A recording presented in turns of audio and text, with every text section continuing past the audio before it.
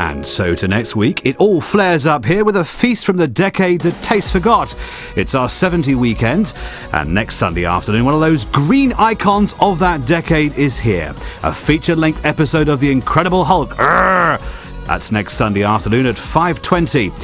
Back to this evening with the main news live from the 5 News Centre and Katie Ledger has tonight's top stories in about a minute.